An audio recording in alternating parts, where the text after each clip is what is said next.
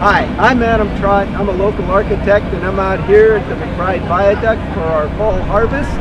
Um, one of the big things about this viaduct is it's a critical link between the north and south sides of the track. It's the preferred link that both pedestrians and bikes prefer over the Bayfront Parkway. And we're trying to stop the city from tearing this thing down.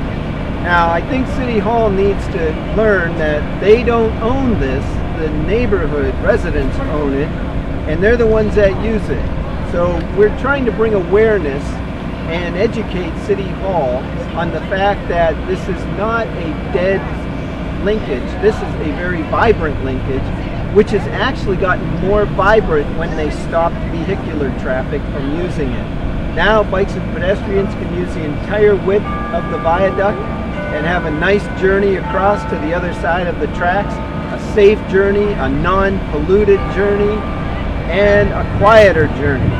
So we're here to stop the city from tearing it down, and we need all the local residents to come with us and let City Hall know that they care about this bridge and they want it to stay.